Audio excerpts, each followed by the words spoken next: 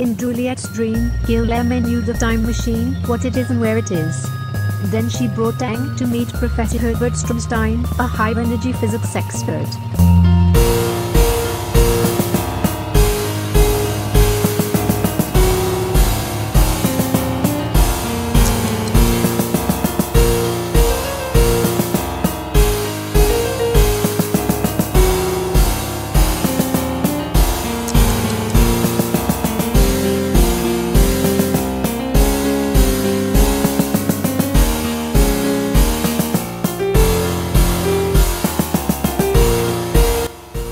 Please wait here.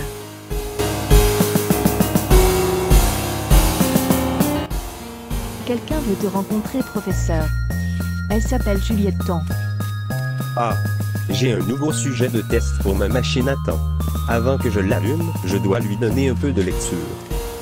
Anticipating a new subject for his invention, Stromstein agreed to give a short lecture on the relativity theory and on how his time machine works. Then the scientist Sure, gave the lecture, taking about one hour. Smoke having gone south. Okay. Let us do Winslow. Kinda careful.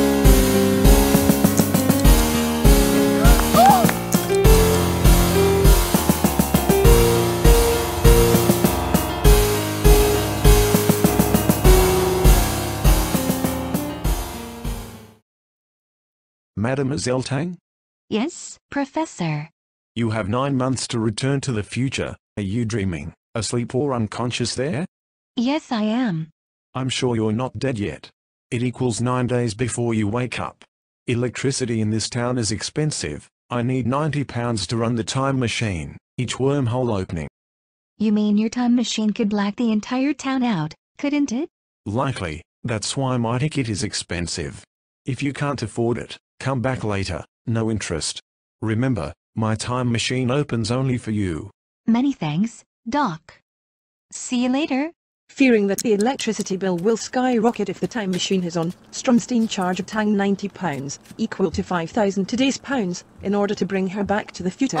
As if you were watching a film, the time pace in the dream is very fast. Thus, in this story, she had about 9 days in the real world, equal to 9 months in the dream. If Juliet enters the wormhole awake, what will happen? Vina. The time pace will be equal on both of its ends. 9 days in the past equals 9 days in the future.